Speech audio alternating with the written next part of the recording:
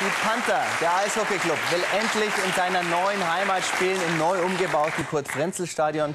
Es wird auch schon seit einiger Zeit umgebaut. 2012 soll es dann endlich soweit sein. Aber schon jetzt haben sie gemerkt, dass sie dort eigentlich überhaupt nichts sehen. Mittlerweile wird das Projekt als Schildbürgerstreich bezeichnet. Christoph Nahe ist dem Ganzen auf die Spur.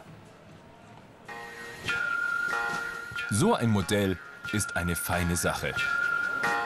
Man kann träumen, was die Zukunft bringen wird.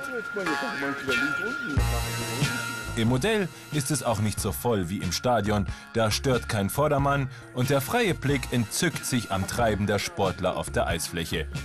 Die Realität stört dann nur, weil der Plan doch ganz was anderes versprochen hat. Also ich kann nicht dazu sagen, ob es in irgendeiner Form Planungsmängel oder Planungsfehler, äh, Planungsfehler gibt. Das naja, die Zuschauer sehen nichts. Offensichtlich gab es einen Planungsfehler. Also die Wahrnehmung der, der, der Zuschauer ist natürlich ist eine subjektive.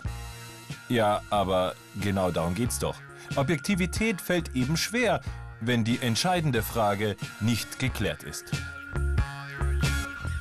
Wir nehmen nicht 16 Millionen Euro für ein neues Stadion in die Hand, bei dem sich die Fans dann hinterher zu Recht beklagen darüber, dass sie schlechter sehen als vorher. Optimale Sicht haben diese beiden Herren versprochen und die müssen es wissen. Es sind die Architekten Oettel und Hermann.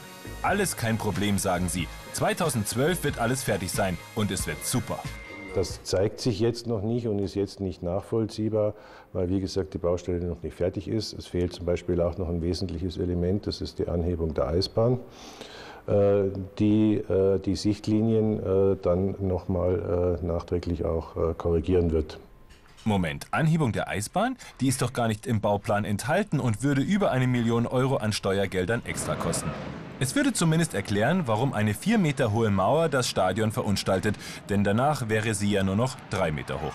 Die Fans sehen schwarz, selbst wenn die erhöhte Eisfläche kommen sollte. Das Problem ist die geringe Neigung der neuen Tribünen. Es ist schön und gut mit der Erhöhung von der Eisfläche, aber die 90 cm bringen uns, sage ich mal, nicht sehr viel, weil wir einen Neigungswinkel von 26 Grad haben und benötigen würden wir ein Neigungswinkel Minimum von 30, 31 Grad.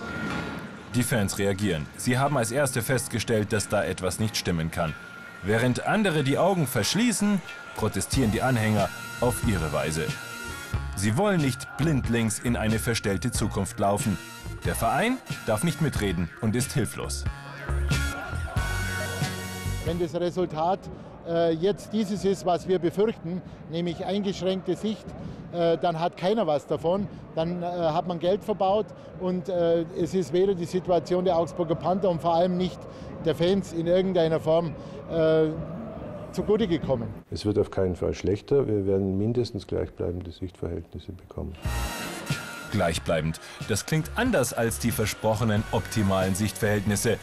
Der Umbau nimmt seinen Lauf. Die Verantwortlichen der Stadt diskutieren hektisch über Nachbesserungen und jeder ahnt, so schön wie das Modell wird es wohl nie werden. Fortsetzung